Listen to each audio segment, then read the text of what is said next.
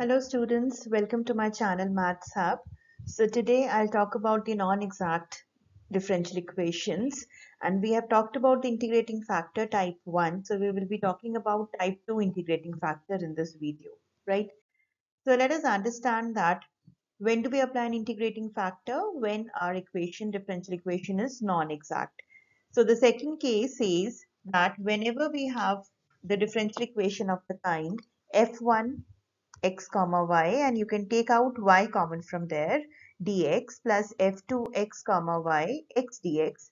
So if you just remember that the term with the coefficient of dx is m and the term with the coefficient of dy is n. So that means from m if I can take out y common and from n we can take out x common then we can apply this rule that the integrating factor is 1 upon mx minus ny provided the denominator is not becoming 0 because if the denominator becomes 0 it is so whenever from m we can take out y common and from n we can take out x common then the integrating factor is 1 upon mx minus ny. So let's see how this is applicable in some questions. So the first exercise is we need to solve x square y square plus 2 into y dx plus 2 minus x square y square into x dy is equal to 0. So first of all, let us test whether these equation is a exact differential equation or not.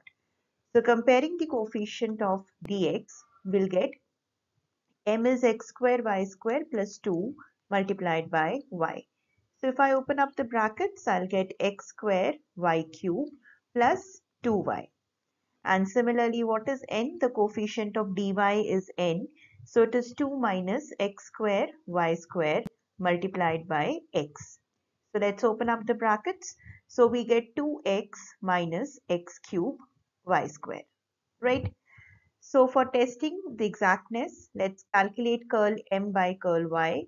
So curl m by curl y is 3x square y square plus 2 and similarly, what is curl n by curl x? Curl n by curl x is 2 minus 3x square y square.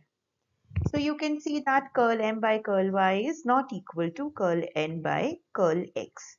So the equation is a non-exact differential equation. So we need to search for an integrating factor. So what is our integrating factor? So in our first integrating factor in rule 1, we have seen that if m and n are homogeneous, then we have the integrating factor as 1 upon mx plus ny. So here you can see that it is not homogeneous. Every term is having some other degree, right? But you can see that from m we can take out y common and from n we can take out x common. So your integrating factor can be 1 upon mx minus ny, right? So once we learn all the techniques of calculating the integrating factor, you will find that there are more than one integrating factor for a single differential equation. So let us multiply m with x. So when you multiply m with x, we get x cube y cube plus 2xy minus let us multiply n with y. When you multiply n with y, we get 2xy minus x cube y cube, right? So when you open up the brackets, you will find that 2xy will get cancelled and we will get 1 by 2x cube y cube, right? So now what is to be done with the integrating factor? We multiply our entire equation with the integrating factor to make the non-exact equation into a exact equation, right? So let's multiply the given equation x square y square plus 2 into y divided by x cube y cube 2x cube y cube. This is our dx. Then we have 2 minus x square y square multiplied by x divided by 2x cube y cube multiplied by dy is equal to 0. So here you can see that you can cancel out one of the factors of y and you can cancel one of the factors of x. So let's split up the terms and write the terms independently. x square y square upon 2x cube y square. So y square will get cancelled, x square will get cancelled and you get the first term as 1 by 2x, right?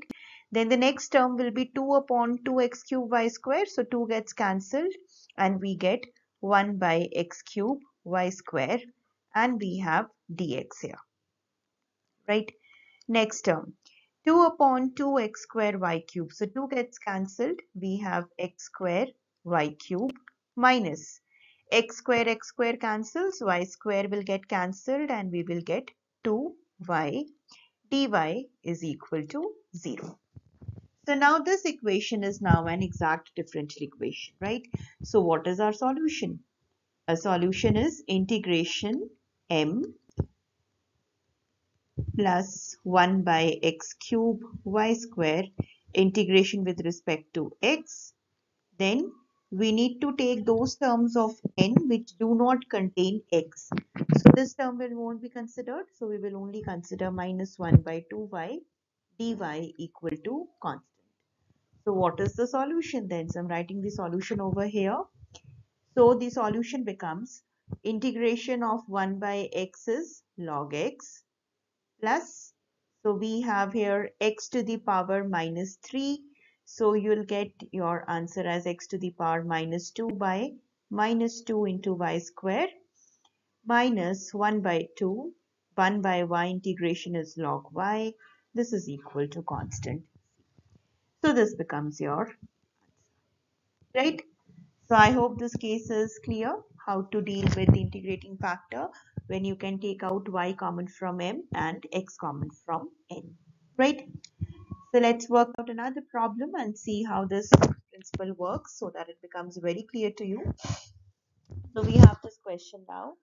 So first of all, let us calculate m. What is m? I'll just multiplying the terms. So we get m as x into y square plus 2 into x square y cube.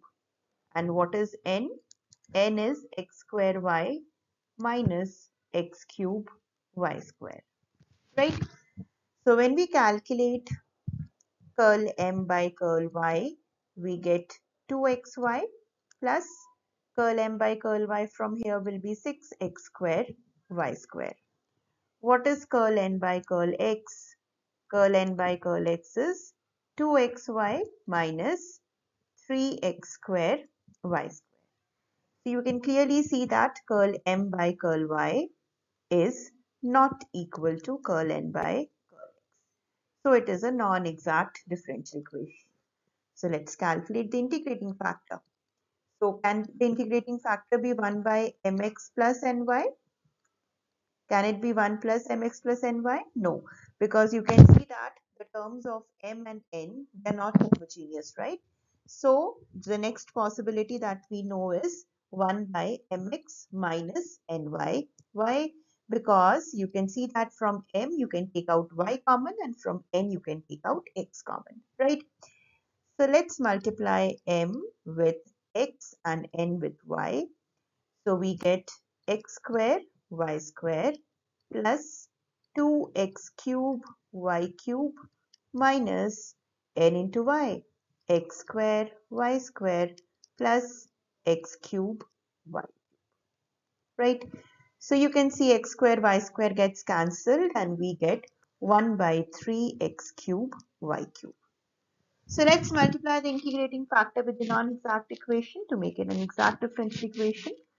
So when we multiply, we get y into xy plus 2x square y square divided by 3x cube y cube dx plus x into xy minus x square y square divided by 3x cube y cube dy is equal to right?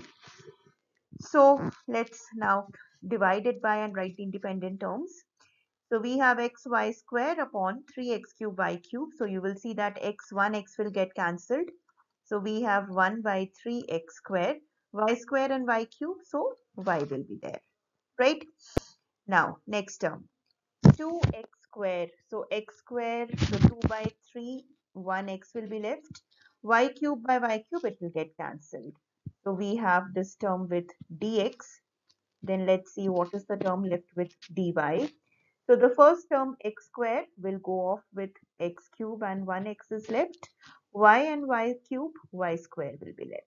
Right, minus x cube will get cancelled, y square gets cancelled and we have 1 by 3y. dy is equal to right.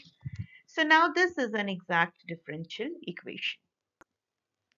So what is the solution of this exact differential equation?